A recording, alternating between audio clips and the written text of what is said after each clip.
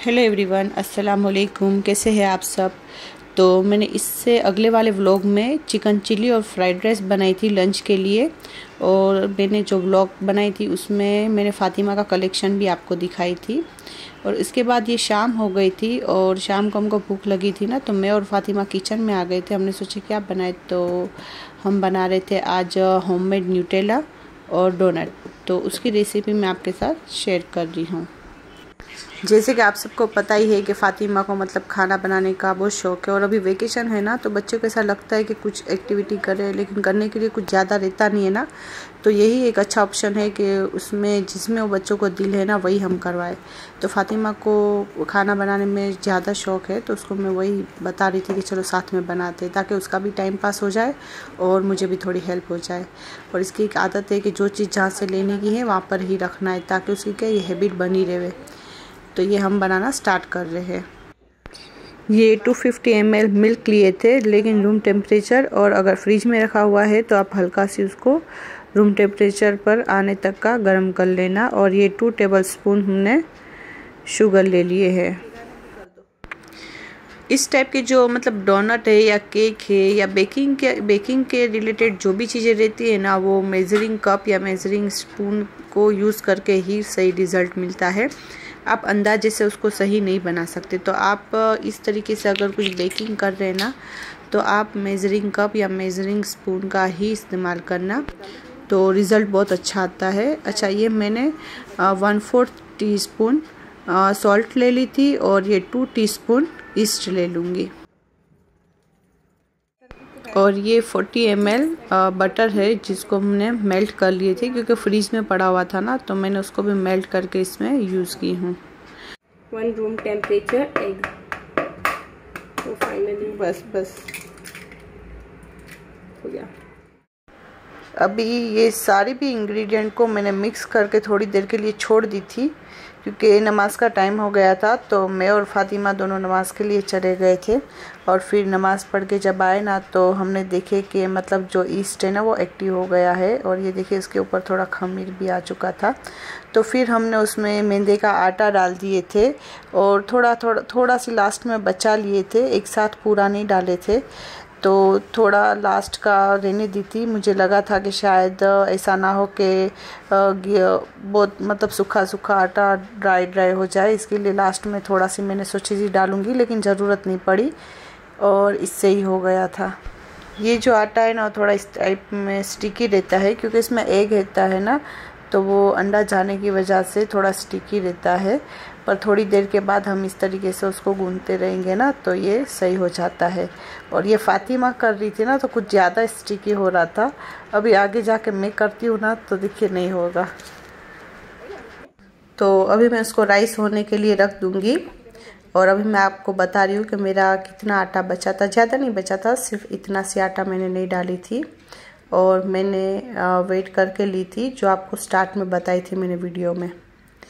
तो ये मैं अभी इसको रख दूँगी और जो मेरी सेकेंड रेसिपी थी ना होममेड न्यूटेला वो बनाना स्टार्ट कर दी। तो मैंने ये 100 ग्राम तक हेज़ल नट ली थी लेकिन ये जो कप के हिसाब से मैं ले रही थी ना तो पूरा कप नहीं भरा था। तो मैंने क्या की थी कि ये जो बादाम थी ना उसका उस, उसको थोड़ी देर भिगा दी थी और ऊपर का जो छिलका रहता है ना उसको निकाल दी थी। तो देखिए ये पूरा प्रॉपर एक कप हो गया। तो मुझे एक कप के हिसाब से आपको बताना था तो ये एक कप मैंने ली हूँ, लेकिन हेज़ल नट्स में थोड़ा सी बादाम ऐड की हूँ। ये दोनों मिलाकर जो न्यूटेला बनता है ना, वो भी अच्छा बनता है, या तो फिर आप सिर्फ़ हेज़ल नट्स से बनाएँगे ना न्यूटेला तो वो ज़्यादा अच्छा रिज़ल्ट देता है, क्योंकि मैंने एक बार सिर्फ़ बादाम से बनाई थी तो मुझे उसका जो टेक्सचर है वो अच्छा नहीं लगा था प्रॉपर न्यूटेला जैसा नहीं लग रहा था। अच्छा उसको तो मैंने रोस्ट करने के लिए रख दी हूँ और अभी ये मैंने पाँच गैलेक्सी ले ली थी, जो ट्वेंटी ट्वेंटी रुपीज़ वाली आती है ना गैलेक्सी वो है। लेकिन ये जो है ना, वो गैलेक्सी थोड़ी जो क्रंच वाली आती है ना, वो थी। क्रंच बिना की जो रहेंगी ना, वो लेना तो वो ज़्यादा अच्छा रहेगा। तो ये मेरे जो हेज़ल नट्स है ना, वो रोस्ट हो चुके थे। तो मैं उसी में अभी थोड़ा पानी ऐड करूँगी। और ये एक कटोरी है ना, जिसमें मैंने ये निकाल के रखी हूँ ना केदबरी गैलेक्सी, वो एक कटोरी उसमें रख दूँगी ताकि वो क्या थोड़ा सी पिघल जाएगा ना इसके लिए। अगर आपके घर पे माइक्रोवेव है तो आप माइक्रोवेव ही कर लेना। और ये देखिए हमारा जो डोनट के लिए जो डो था ना, वो कितना अच्छे से राइज हुआ है। ऐसा होना चाहिए। मतलब आपका जो भी डो है, वो रेडी है डोनट बनाने के लिए। अच्छा वो फातिमा उसको देख रही थी, उसका शेप भी बना रही थी डोनट के लिए। और ये जो मैंने रोस्ट करके रखी थी ना होममेड न्यूटेला के लिए तो उसको अभी मैं एक ग्राइंड मिक्सी जार में ले लूँगी और उसको ग्राइंड करना स्टार्ट कर दूँगी। जब मैं उसको ग्राइंड करना स्टार्ट करूँगी ना तो पहले स्टार्ट में सिर्फ़ उसका एक पाउडर पाउडर सा बनेगा। और उसको लेकिन बहुत ज़्यादा देर तक ग्राइंड करते रहना है। वो इतनी जल्दी नहीं बनता है। उसको मतलब यही रहता है कि उसको हिला हिला के काफ़ी देर तक हमको ग्राइंड करते रहना है। और जैसे ही आप ग्राइंड करना स्टार्ट करेंगे ना तो पहले तो वो पाउडर पाउडर सा लगेगा और उसके बाद ये देखो हल्का हल्का सी ऑयल रिलीज़ करना स्टार्ट कर दिया है। तो अभी मैं इसमें four tablespoon sugar add कर दूँगी। ये वन टू थ्री और ये फोर और इसमें अभी कोको पाउडर जाएगा तो ये कोको पाउडर काफ़ी टाइम से मेरे पास लाया हुआ पड़ा था, मैंने यूज़ ही नहीं की थी। तो अभी रमज़ान के बाद मैंने थोड़ी साफ़ सफ़ाई स्टार्ट कर दी हूँ ना तो मैंने देखी ना तो ये पूरा पड़ा हुआ था मेरे पास तो मैंने सोची चलो इसको भी यूज़ कर लेती हूँ।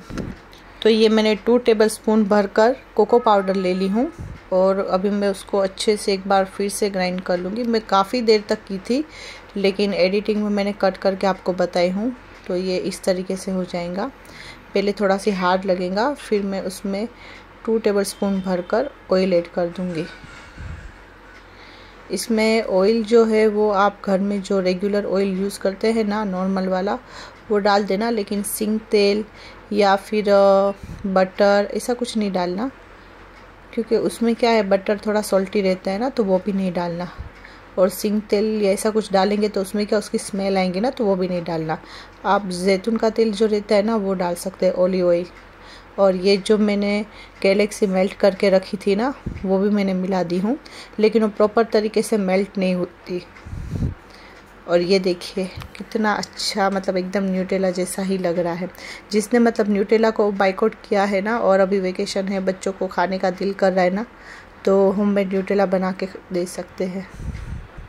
क्योंकि मेरे घर में तो बहुत ज़्यादा न्यूटेला खाया जाता है। मेरे बच्चे भी माशाल्लाह सुबह को नाश्ते में भी खाते हैं तो मैं तो मतलब ज़्यादा ही बना के रख देती हूँ, या ख़त्म हो जाता है तो फिर बनाते रहती हूँ। तो ये मेरे पास जार पड़ा था न्यूटेला का ही है तो मैं इसी में फिल करके रख दूँगी, और इसको मैं जब निकाल के इसमें डालती हूँ ना तो आप टेक्सचर जी के एकदम न्यूटेला जैसा ही लगता है। और इधर ये फ़ातिमा ने डोनट का शेप देना स्टार्ट कर दी थी। तो फ़ातिमा तो अभी क्या अपने हिसाब से शेप देती थी, लेकिन फिर भी काफ़ी अच्छे शेप बनाई थी, काफ़ी काफ़ी अच्छे थे। अलहमदिल्ला बहुत अलग अलग टाइप के शेप बनाई थी, लेकिन एक शेप में थोड़ा ट्विस्ट हो गया था, जो मैं आपको बताती हूँ, अभी देखिए। ये मैंने ऑयल को गर्म करने के लिए रखी थी। ऑयल अच्छा गर्म हो गया ना तो फातिमा ने बताई थी मुझे कि, मम्मी, ये फॉइल पेपर के साथ ही रख देना। जब ये ऊपर आ जाएगा ना तो आप फॉइल पेपर को हटा देना। जैसे ही मैंने फॉइल पेपर को हटाई, वो सारे भी बोल बन के पूरे तेल में तैरने लगे। और फिर मैंने उसको, जो सेकंड वाला है उसको हाथ से ऐसा मिलाकर, थोड़ा दबाकर फिर डाली। तो मैंने देखी तो नहीं, अलग नहीं हुआ। तो फिर मैंने हाथ से ही उसको पहले जॉइंट की सारे भी बोल को, फिर मैंने उसको ऑयल में डाली। तो अल्हम्दुलिल्लाह, बाकी के दोनों सही हुए। लेकिन जो आगे वाला था ना, वो तो कुछ अजीब ही तेल में सब बॉल की तरह तैरने लगे। लेकिन इसमें भी एक काम कर सकते हैं कि ये जो सारे भी बॉल बने ना, उसको हम कांडी में लगा देना है फ्राई होने के बाद। और फिर चॉकलेट सॉस एक, रखना है एक बाउल में अच्छे वाले में। और ये कांडी डिप करते जाना है, जिसमें हमने ये बॉल लगाए हैं। वो कांडी डिप करते जाना है चॉकलेट सॉस में और खाना है, बड़े मज़ा आती है वो भी खाने में। और बाकी के दोनों शेप जो है वो परफेक्ट हुए थे।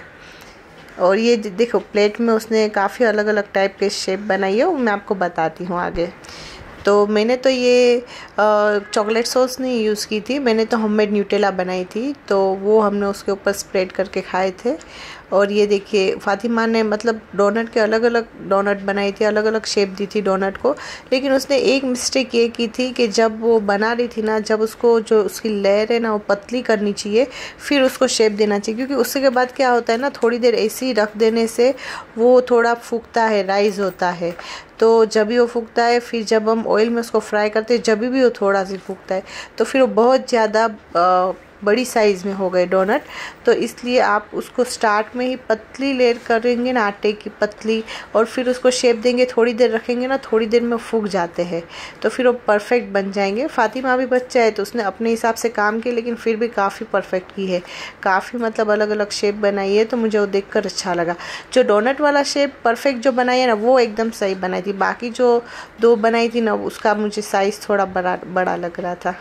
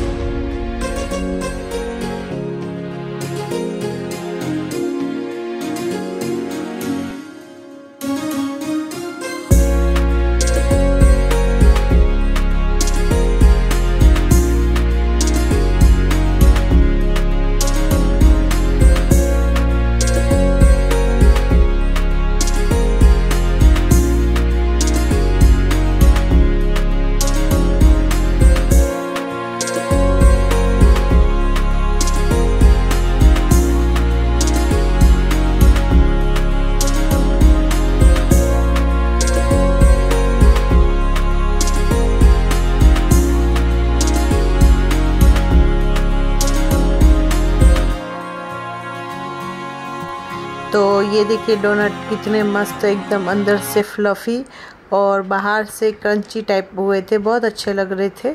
और इतने अच्छे थे कि मतलब आप बनाएँगे ना तो आप मुझे ज़रूर कमेंट करके बताना कि आपके कैसे बने हैं। बहुत अच्छे बनेंगे, बहुत परफेक्ट बनेंगे। और अभी जिसने बनाए हैं ना, उसी का रिव्यू लेते हैं कि उसे कैसे लगे हैं। तो मैंने फ़ातिमा को पूछी, फ़ातिमा, बताओ आपको कैसे लगे? तो अभी फ़ातिमा के मुँह से सुनते हैं कि फ़ातिमा को कैसे लगे हैं।